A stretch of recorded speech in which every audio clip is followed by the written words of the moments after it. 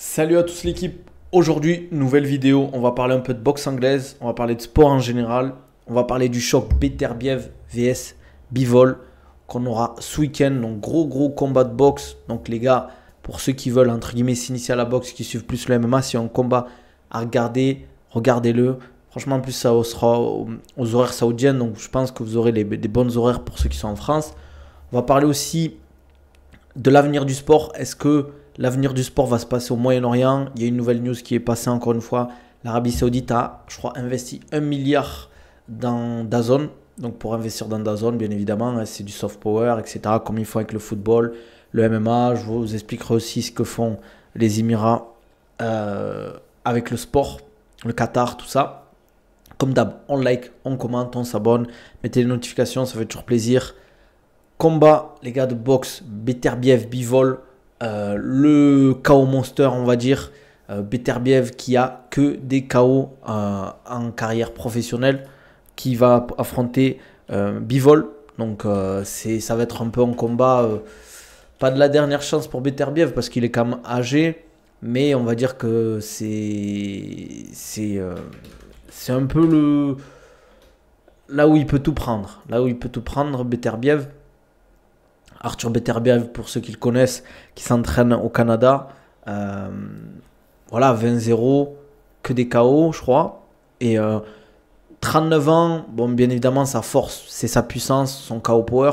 Même s'il ne faut pas sous-estimer sa technique, euh, c'est sûr qu'il a une, énorme puissance, etc. Mais c'est pas ce qui fait qu'il est si fort.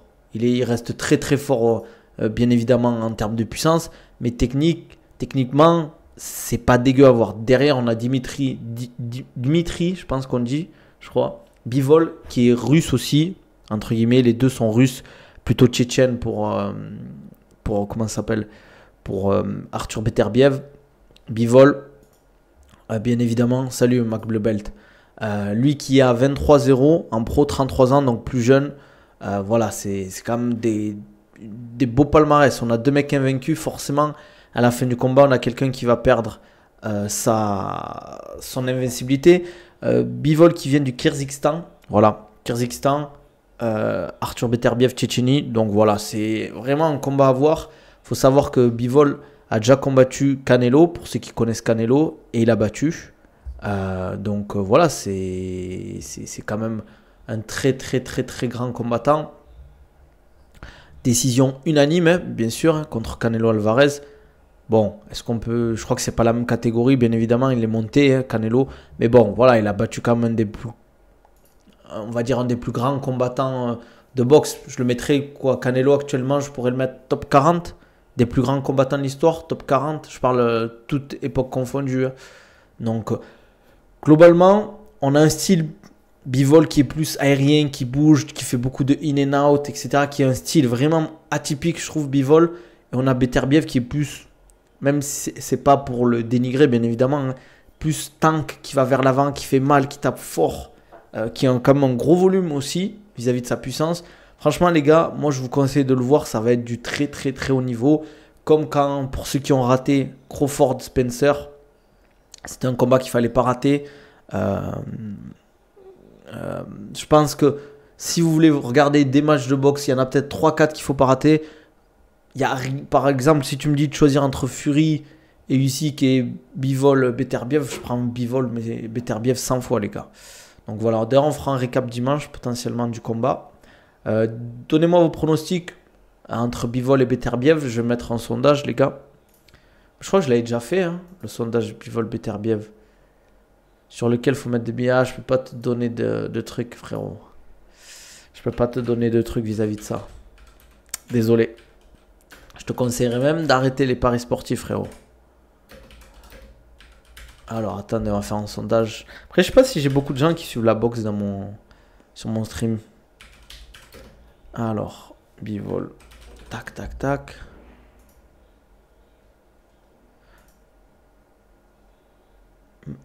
Hier, oui, je l'ai mis hier déjà? Non, je l'ai pas mis hier. Et je sais que je l'ai déjà mis. Hein. Comme c'est la Shintai, ça va ou quoi? Est-ce que tu as reçu le questionnaire ou pas? J'ai du mal à regarder la boxe. Pourquoi? Pourquoi vous, les gars, vous n'êtes pas trop boxe Ça, c'est une question qui est intéressante à poser. Hein. Après, vous n'êtes pas trop box, faut pas hésiter à le dire. hein. Qu'est-ce que je voulais dire aussi? Euh, ben, Je ne sais pas si vous avez vu, l'Arabie Saoudite a investi 1 milliard chez Dazon. Je le répète souvent, hein, mais le Moyen-Orient, ça va devenir le futur Eldorado du sport en globalité. Que ce soit. Bon, le foot, ils vont pas tout prendre, mais ils vont prendre quand même une bonne partie. Foot, sport de combat, ça va être la Bérésina, comme on dit. Euh, Arabie Saoudite qui investit dans Dazon, qui investit dans le PFL, qui investit un peu dans l'UFC. Les Émirats Arabes Unis qui investissent dans l'UFC aussi, avec l'UFC Abu Dhabi qu'on a deux fois dans l'année maintenant. Ils ont investi dans le PFL Bellator. Maintenant, il y a le Road to Dubaï avec les finales qui seront, euh, je crois, du, du Bellator à Dubaï. Donc, euh, voilà quoi. Il, va y avoir de plus en plus d'événements, gros événements à Dubaï. Je pense que en à Riyad aussi, le Qatar qui investit avec le PSG. Il va y avoir bon, l'Arabie Saoudite qui investit dans le foot avec certains clubs en Angleterre, etc. Bon, il y a toujours ces rumeurs, ça fait des années qu'on en parle du rachat de l'OM par les Saoudiens. J'ai l'impression que euh, ça fait 10 ans qu'on en parle. Enfin bref, ce que je veux dire, c'est que l'avenir du sport, il y a une grosse partie qui va, ça va finir au Moyen-Orient parce qu'ils ont les moyens. Euh, ils ont surtout l'Arabie Saoudite, ils ont vraiment des moyens colossaux. Derrière, il y a le Qatar et les Émirats. L'Arabie Saoudite, c'est vraiment au-dessus. Ce qu'il faut avec le football, c'est incroyable. Ils ont donné aussi 20 millions pour l'UFC. euh, pour l'UFC, pour que l'UFC soit à Riyad. Trop haché le combat quand il s'accroche, tout ça, trop lent stratégique. Ah, mais il faut que tu regardes. euh, je sais pas si tu avais vu Spencer contre Crawford, il faut que tu le regardes ce combat, les gars. Les gars, si vous avez encore. Vous pouvez le trouver sur YouTube, il, il était cette année, je crois. C'était cette année, les gars, Crawford Spencer J'ai complètement oublié, je pense, oui, c'était cette année. J'ai pas envie de dire de bêtises. Euh, franchement, les gars, c'est un combat de fou. Moi, si j'ai un combat à regarder, c'est celui-ci, les gars. Spencer, Crawford sur YouTube, les gars.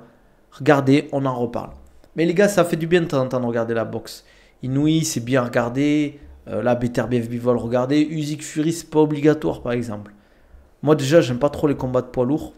Je suis pas trop fan en général. Parce que je trouve que techniquement, même s'ils sont bons, c'est pas là où il y a euh, l'essence technique comme MMA. hein. Les gens, ils aiment bien voir des gros KO. Moi, c'est pas ça que j'aime voir. J'aime voir de l'engagement dans les combats. J'aime voir de l'adversité. J'aime voir comment ils vont trouver les solutions, etc. Ben, c'est voilà, tu vois, c'est le gros problème en fait de, de la boxe, c'est de mettre un mec comme Ngannou Fury face à face. Techniquement, c'est pas euh, là que tu vas te dire, waouh, ils sont trop forts. Par contre, tu regardes un Crawford de Spencer, ça c'est du haut niveau. Tu regardes un Inouï, ça c'est du très très haut niveau. Beterbiev Bivol, ça va être du très haut niveau. Euh, donc, euh, franchement, regarder des combats d'un Ngannou en boxe, c'est pas là que vous allez euh, trouver euh, le top du top de la boxe. Arthur ou Bivol, du coup. Je pense que Bivol est légèrement meilleur techniquement. Euh, après, Beterbiev, il peut toujours t'éteindre. Je pense que Bivol, il a la fraîcheur encore. Il est jeune, il a que 33 ans. Beterbiev, c'est 39 ans de, ca- enfin, 39 ans de carrière, j'allais dire. 39 ans, je pense qu'il peut toujours éteindre Bivol à tout moment. Euh, Qu'est-ce que je voulais dire? Donc, euh, Bivol, je le vois légèrement favori, mais 60-40, je dirais. Je le vois pas éteindre Beterbiev. Je trouve que c'est un dur au mal. Beterbiev, c'est dur de le finir, mais bon, c'est jamais who knows, comme on dit. Euh, Il y a aussi le fait que, je sais pas, il y a des histoires autour de, de Bivol, de dopage, j'ai entendu. Alors, je sais pas si c'est vrai ou pas. Voilà, en boxe, je suis pas spécialiste du dopage pour la boxe anglaise. Vous me direz, les gars. Mais, euh, mais voilà. Après, sinon, euh, ce week-end, il y a l'UFC. Bon, il y a Royval contre euh, Tai- Comment il s'appelle déjà le, japonais, là. Je suis pas trop fan de la carte, globalement. Les Fight Night, en ce moment, je trouve elles sont assez pauvres. Euh, je trouve que c'est assez pauvre, franchement. euh, globalement. Le- le- Or, certains Fight Night dans l'année, il y en a peut-être un, deux qui sont vraiment bien. Euh, mais sinon, globalement, c'est pas ouf. hein. C'est pas ouf du tout. hein. Il y a les pay-per-view, bien évidemment, mais même le dernier pay-per-view, t'enlèves Pereira, euh, franchement, c'est bientôt Hamza de fin du mois, dans deux semaines. Nabil, ça va se régler rapidement Pourquoi reste des blocs by Sangour J'en ai aucune idée encore, Kams. Franchement, je pourrais pas te dire. Hum, hum, hum. Attendez, les gars, deux secondes. Il y a toujours des fous sur TikTok, donc il faut que je règle ça. Taïra, ouais. Moi, les gars, je suis pas trop fan. Hein. Je sais qu'il y a des gens qui vont regarder tout. Oh, Peut-être je vais regarder. Je vais regarder un replay. Mais je comprends pas les gens qui vont faire nuit blanche pour la carte de l'UFC de ce week-end. J'ai vu, il y a eu un live avec Toporia Holloway. Ça s'est clashé un peu. Mais je pense qu'ils font ça pour monter, surtout Toporia, pour faire monter la hype. Franchement, ça se voit qu'ils ils ont rien, ils ont rien entre guillemets à se reprocher les deux. Ils ont rien à se reprocher les deux. Ils se détestent pas. Il n'y a pas eu d'animosité. Entre guillemets, ils inventent un clash quoi. Il n'y a pas de pro euh, ou semi-pro Kams en JB. Ça n'existe pas ça.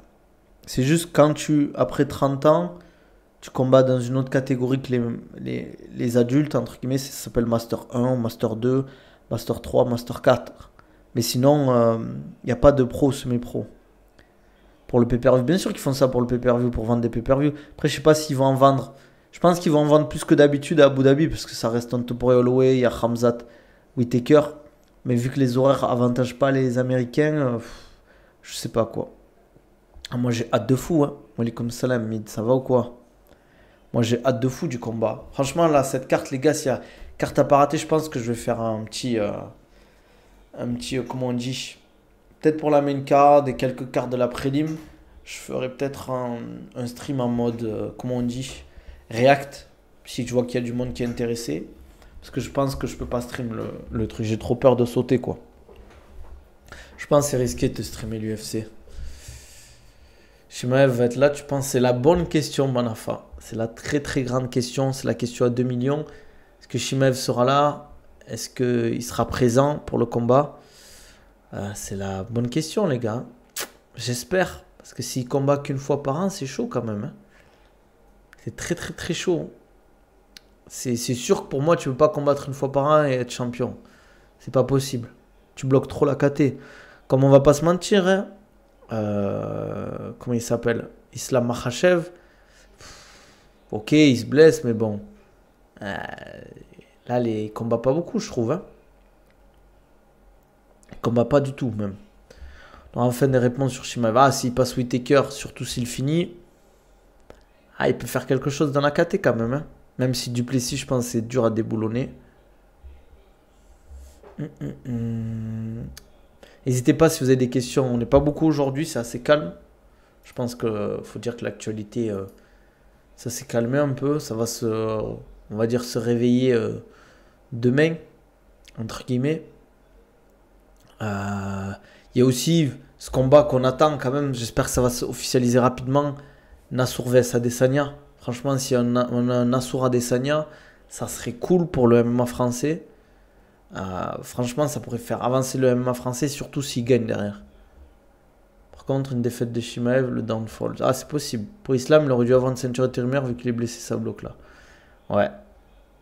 Condition de jet lag, tu, conseilles l'utilisation de mélatonine hum. Ouais, tu peux, ouais, ouais, tu peux. Malheureusement, il pourra combattre que deux fois par an en Arabie Saoudite. Et le problème, c'est que c'est même pas des pay-per-view en Arabie Saoudite. À Abu Dhabi, c'est un peu perview. Il faudrait qu'il y ait un peu perview en Arabie Saoudite. Kosile Kadirov, il est interdit de combattre aux États-Unis. Alors, moi, j'en avais parlé avec Younes, le, manager de Nassour. Il m'a dit que ça, c'était pas vrai. Donc, je sais pas. C'est vrai que ça fait un moment qu'il n'a pas combattu aux États-Unis. Mais bon, il devait combattre. Célie Kadirov, c'était avant son combat contre Ned ou pas? Peut-être qu'il y a autre chose après. Hein Aussi, hein Je sais pas.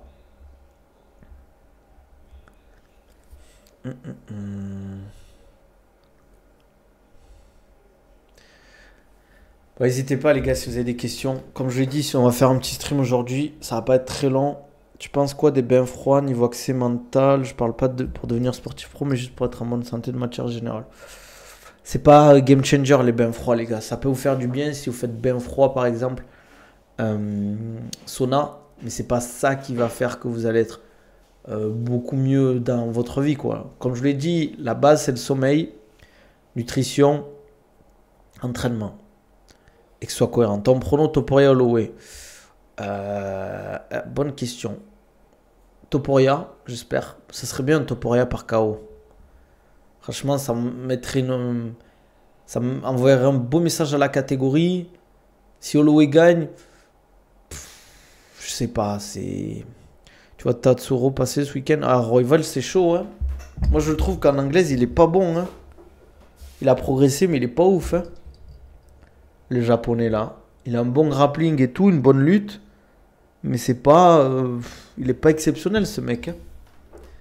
Il est pas exceptionnel pour moi. Je pense que ça va être compliqué de déboulonner le Pantoja, en vrai. Holloway mérite de revenir au top. Mais il est déjà au top, quand même, hein. Il a battu Justin Gagey avec peut-être le combat, un des combats de l'année et peut-être le chaos de l'année euh, face à Justin Gagey pour la ceinture BMF. Tatsuro surcoté ou surmédiatisé, tu penses? Un peu des deux, je dirais pas surmédiatisé parce qu'on n'en parle pas tant que ça non plus. Pour combattre striker entre Adesanya et Imavov, personnellement je vois Adesanya au-dessus, mais ce qui me fait douter c'est que son prime est derrière lui Quoi qu'il en soit, je vois ce combat, la, la décision avantage Adesanya à cause de la panoplie striking plus complète. Ouais, c'est une bonne analyse, mid. Euh, c'est une bonne analyse. Je pense, comme tu dis, son prime est derrière lui, Adesanya, tandis que Nassur il monte en puissance. Euh, surtout peut-être qu'il a moins la grinta, Adesanya maintenant. Tu sais, quand tu as deux défaites d'affilée, c'est dur de se dire, ah, je peux revenir vraiment au top. Peut-être qu'il se dit qu'il a les capacités, mais tu sais, quand tu gagnes beaucoup d'argent, tu sais, peut-être qu'il s'entraîne pas autant ou aussi avec l'implication qu'il faut, quoi. C'est ça que je veux dire.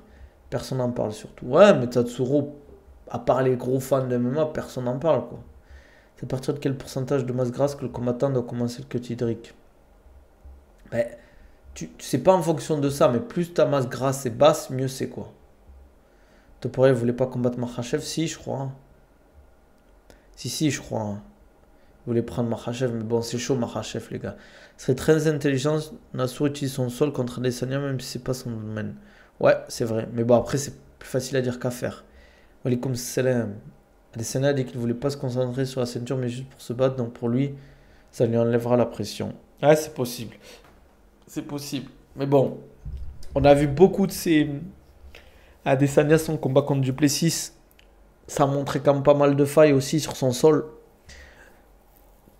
Attention, à Adesanya, il a fait un bon match contre Strickland, mais contre Duplessis, il nous a fait un gros match. Adesanya, c'est juste Duplessis qui est boosté. D'ailleurs, malheureusement, je vois personne le bas dans la KT actuellement. Je sais pas. Je pense qu'un bon, un bon lutteur, il peut lui poser des problèmes à, Duplessis. Parce que j'ai pas l'impression qu'en lutte défensive soit si bon. Conseil de nutrition, jour de combat pour premier combat de JJB. Et si tu as la ceinture le même jour, je te conseille d'avoir tout ce qui est pâte de fruits, compote, euh, raisin sans pépin. Et tu manges pas euh, de fou, quoi. Tu manges pas énormément. Euh, parce que tu sais pas, en fait, quand tu vas combattre, quoi. Sylvester Nassau en combien de rounds ça peut faire la différence Je pense que ce sera en 5 rounds, ce sera en main event. Hein.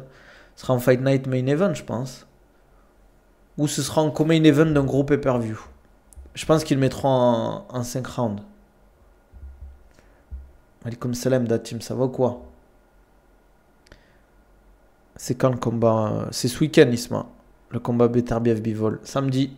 Horaire français, je pense que ce sera 23h, 23h minuit. 5 rounds d'avantage à Easy. Ouais, c'est clair. Nabil, la situation actuelle de Baki peut impacter une revanche contre le barbu gourmand. Possible. Je vais pas dire non, c'est possible.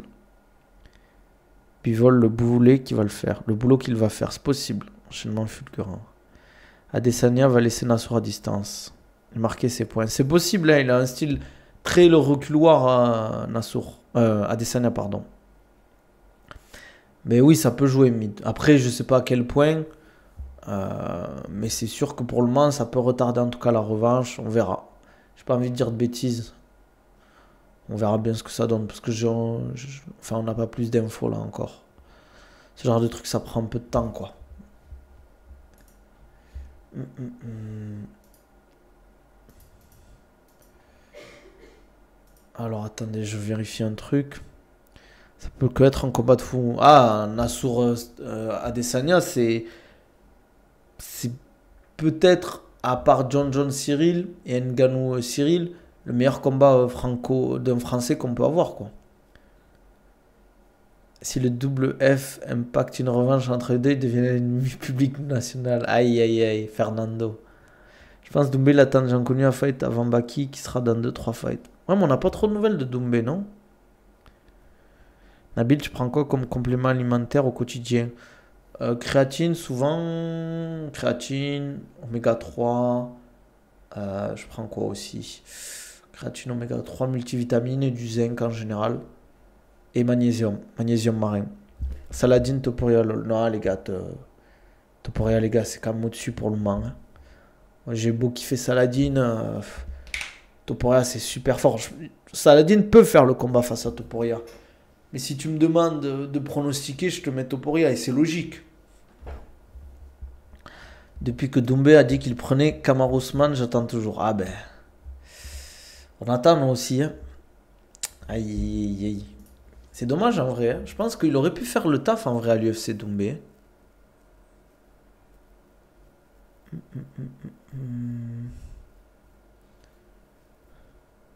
Machachev laisse Toporia pour mort. Je sais pas, je pense que ça peut être un combat comme serré. Tricus Duplessis, c'est un gros bourrin, il avance sans réfléchir, il a rien d'exceptionnel, il fait juste des. Après, attention les gars, hein. C'est pas parce que techniquement c'est pas clean que c'est pas efficace. Je crois qu'il y a trop trop de vitamines en même temps dans le même complément, ça réduit les effets. Ça dépend en fait les dosages et la posologie. Prolongation de contrat de Bakia et Caresse après la pesée ratée, c'est. C'est vrai l'info selon. Et Bichot, j'ai pas compris la question.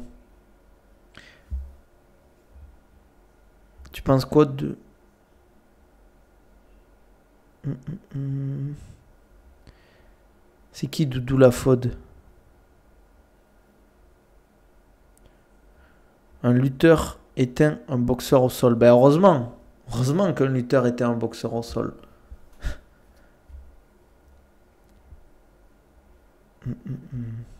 Je sais pas, il me parle de Doudou le Fod, la Fod. Je sais pas si c'est Doumbé, Doumbé la fraude, ou il voulait dire.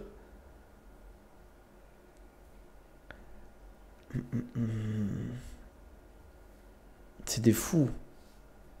Les gars, attends. Bien sûr que. C'est comme si tu me dis un, lutteur face à un boxeur debout, euh, c'est chaud pour lui. Hein. S'il gère bien la distance, ça peut être chaud. Après, je dirais que toujours à la lutte, un tout petit peu dans un, dans un espace fermé, a plus d'avantages quand même. Reste un combat sur le contrat soit il fait son dernier combat, soit le PFLP pour le libérer. C'est pas si simple que ça, les gars. Oui, il t'amène au sol, mais t'arrives pas au contact aussi facilement, les gars. Euh, d'ailleurs, les gars, moi, je vous conseille, s'il vous plaît, et je dis pas que je, ne vous vise pas à vous, mais euh, ce que je veux dire, c'est que si vous pratiquez pas, de MMA, vous pouvez pas savoir à quel point des fois un rentre au contact face à un mec qui boxe bien, c'est dur. C'est pas juste je suis un takedown et j'arrive au contact. Si le mec il doit arriver, tu vas te manger un gros bras arrière ou un uppercut, tu vas comprendre quelle heure il est. Shavkat Rakmonov, le futur selon toi, non. Moi, il n'y a pas assez d'informations, je pense qu'il est très fort. Mais l'UFC au niveau, c'est comme Hamzat. Hamzat, il est très très fort. Est-ce qu'on peut dire que c'est le futur? Pour moi, il n'a pas encore euh, affronté, euh, à part Burns et Kamar Ousmane. Et chaque combat, c'était quand même très très serré. Hein. Les Kumselem, ils se mettent vers la fin. J'aimerais transitionner un moment en vrai, mais 24 ans, c'est pas tard. Ben, ça dépend de tes objectifs. Si tu veux être champion de l'UFC, ça peut être compliqué, mais pourquoi pas? Je suis qui pour te dire de ne pas le faire? Mais si tu veux transitionner, euh, là tu transitionnes maintenant, si tu as une grosse expérience en lutte et que tu arrives à bien transférer ça, tu peux faire quelque chose. Est-ce qu'un bon lutteur à MMA doit être un bon grappleur Ouais, je pense que ça va ensemble quand même. Parce que si tu n'arrives pas à conserver au sol, à prendre des belles positions, ça peut être compliqué. Je pense que Doumé, sa victoire contre Zebo est un cadeau empoisonné. Depuis, le mec est trop médiatisé, des sponsors partout. C'est devenu quasiment une personnalité publique. Il doit gagner hyper bien sa vie, surtout avec le PFL qui doit augmenter ses revenus à chaque combat. Dans ces conditions dures d'avoir fait, on est loin du Doumé qui faisait des stages en Irlande pour progresser, etc. Je suis d'accord avec toi, Mid. Je suis d'accord avec toi. Après, est-ce que est-ce que c'est un truc qui lui correspond pas? Je pense que Doumbé, ça lui va très bien d'être euh, pété de thunes maintenant. Ramzat il a confirmé qu'on des vrais adversaires contrairement à Shafkat. Oui, je suis d'accord que Ramzat a plus confirmé que Shafkat. Là, je suis là, totalement d'accord. Non, je veux juste me battre. Hein. Ben, fais du MMA, frérot. Astor, faut qu'il prenne sa revanche contre Strickland. Je pense que Strickland, il sera le prochain sur le title shot. honnêtement, je le comprends. Le mec a plus de 90 combats pro, il doit être cassé. Bien sûr, les gars, faut kiffer aussi. Hein. Bien sûr, tant mieux s'il fait sa thune. On va pas lui en vouloir de faire sa thune à Doumbé. Hein.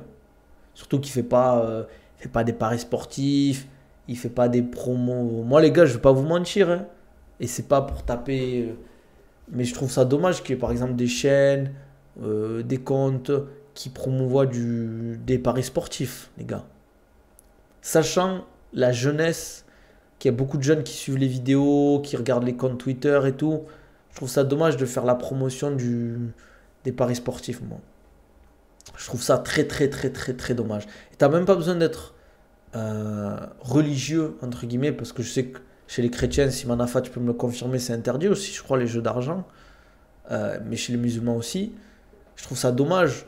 Mais tu n'as même pas besoin d'être musulman ou chrétien pour te rendre compte que c'est un fléau, les jeux d'argent. Parce que c'est souvent les pauvres qui font des jeux d'argent et qui espèrent gagner de l'argent, alors que les meilleurs, euh, entre guillemets, pronostiqueurs, je crois qu'ils ont 60% de réussite.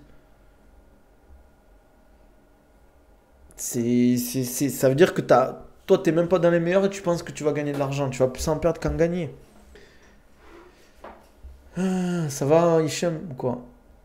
Dans Naruto, c'est interdit. Je sais même pas. Tu parlais de combat de Crawford en référence technique. Tu quoi comme combat de MMA en référence technique euh, Ça dépend le style.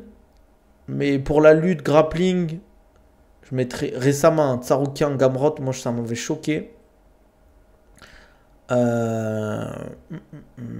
Après, il y a quoi en vrai, techniquement Après, je trouve la boxe de, de contre Josh Semet, c'était quelque chose. Je pense que Douma avait l'ambition de base. Après Zebo, en interview, il parlait de faire le tournoi PFL, c'est pas l'UFC, mais je pense que le succès qui lui a donné ce combat l'a dépassé pour ses ambitions sportives. Il cherchera à prendre une ceinture au PFL et tirer sa révérence, je pense. Tant qu'il fait pas le tournoi, il pourra pas. Hein. Je dis pas qu'il a du flou, il me... je dis qu'il a du flou, il me calcule pas. Ah, désolé Nizar, j'avais pas vu. Merci pour le follow.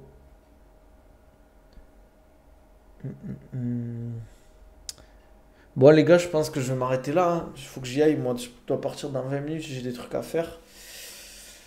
Si vous avez quelques questions, les gars, n'hésitez pas. C'était court aujourd'hui. Je suis désolé. Ouais, mais il va sûrement faire une ceinture hors tournoi comme celle d'Enganou Ferrara. Yo, frérot. Je vais je regarde la rediff demain. Bonne journée, les gars. Vas-y, dors bien, Hichem. Dors bien, mon frérot. Ah ben voilà. Qu'est-ce que je voulais dire? Ciao tout le monde, merci Nabil. Ouais, comme d'hab, hein, les gars, si vous voulez programme ou suivi personnalisé, vous m'envoyez un DM. Si vous voulez perdre du poids, prendre la masse musculaire, être costaud, les gars, fort comme un turc, comme on dit. Euh, n'hésitez pas à me contacter, remise en forme, développement des qualités physiques. N'hésitez pas à profiter des codes promo pour la gourde filtrante, les gars, la patate, code OCO, 10% de réduction avec mon code OCO Nabil10 sur OCO Europe. Vous avez les compléments alimentaires sur Ozer Nutrition, n'hésitez pas les gars, c'est de la patate, ça que je travaille avec de la qualité. Tournoi BMF, t'en penses quoi? Mauvaise idée si c'est la même soirée. Si c'est sur deux mois, pourquoi pas Mais si c'est la même soirée, c'est une mauvaise idée. Je ne sers gastrique, tu pourrais m'aider avec ça ou pas Frérot, il faut que tu ailles voir un comment ça s'appelle là? Un médecin du ventre, j'ai oublié le nom. Gastro-entérologue, frérot, je sais pas. Heures, c'est pourquoi? Pour les compléments alimentaires, les gars. Vous avez tout. Avec le code Nabil10, vous avez 10% de réduction. Avec les codes, bien évidemment, je reçois une rétro-commission. Donc, vous avez une réduction. En plus de ça, vous, euh, vous gagnez, enfin, vous me faites un peu, enfin, un peu gagner de l'argent, les gars. C'est juste pour payer les croquettes du chat, comme d'hab i Sport, Nabil 15, les gars. Vous avez 15% de réduction sur votre équipement sportif, kimono, gants. Vous avez tout ce que vous voulez. N'hésitez pas à aller voir. Euh, coudière aussi, genouillère. Pour ceux qui veulent, qui font du Muay Thai, qui font du MMA. N'hésitez pas, les gars, si vous voulez pas ouvrir la, tête de votre adversaire. Qu'est-ce que je voulais dire d'autre? N'hésitez pas à mettre en commentaire, les gars. Euh, ah oui, je voulais, avant de quitter, je voulais qu'on lise les commentaires de la dernière vidéo, les gars. Qui pouvaient être intéressants. Euh, tac, tac, tac, tac, tac, tac, tac. On va lire rapidement ça. Et après, on se laisse là. S'il y a des commentaires intéressants, on va checker ça. Alors. Donc, il y a Acced qui dit Islam Dulatov qui vient d'être sinon Dana White Contender Series.